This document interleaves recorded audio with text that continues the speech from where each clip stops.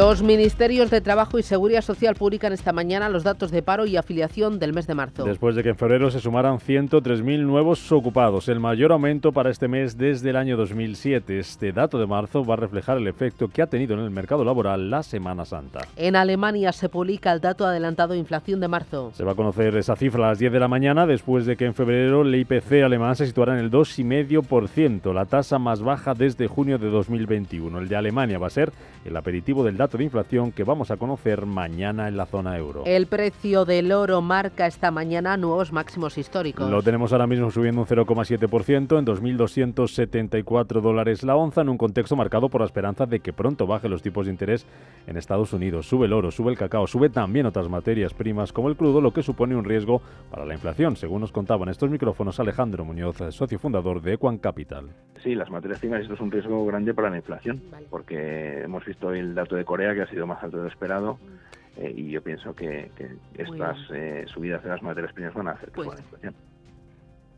Más cosas, las bolsas europeas vuelven a la actividad tras el parón de la Semana Santa. La de hoy será la primera sesión del mes de abril y del trimestre para los parques europeos que van a cotizar, entre otras, ese dato de inflación en Alemania, también el PMI manufacturero que se publica en Europa, mientras que en Estados Unidos vamos a conocer hoy los pedidos de fábrica y la encuesta JOLTS de ofertas de empleo. El IBEX va a arrancar desde los 11.074 puntos y de momento los futuros vienen en negativo, donde caen entre un 0,2 y un 0,3% en Estados Unidos, recortes también entre un 0,2 y un 0,1 ciento aquí en Europa. Miguel Temprano es gestor independiente.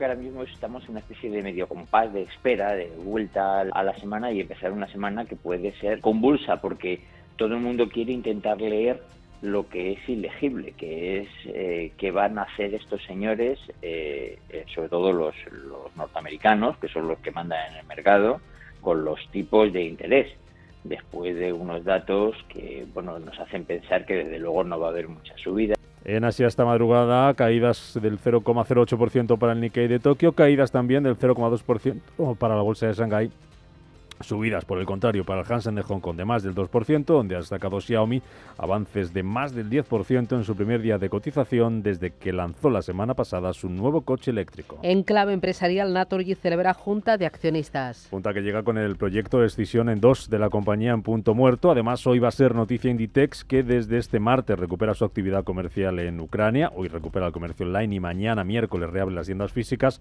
tras dos años cerradas. Y en las bolsas y la bolsa miraremos a Soltec, ha tenido que revisar sus cuentas por diferencias con su auditor y reporta ahora pérdidas de 23 millones de euros el año pasado.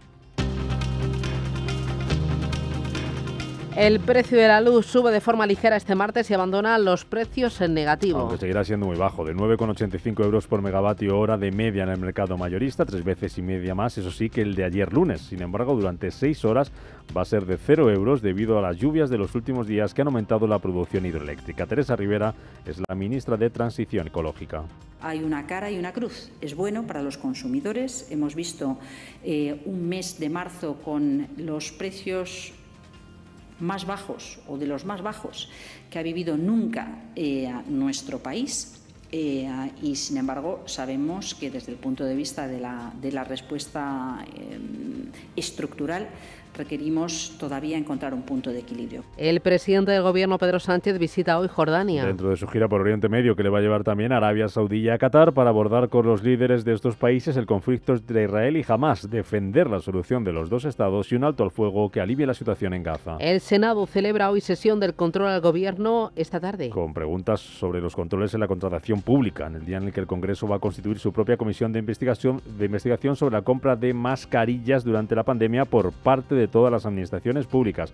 Ayer se creaba esta misma comisión en el Senado en la que el Partido Popular citará a la presidenta del Congreso, Francina Armengol, y no descarta citar también a Pedro Sánchez. Lo anunciaba el portavoz nacional de los populares, Borja Semper.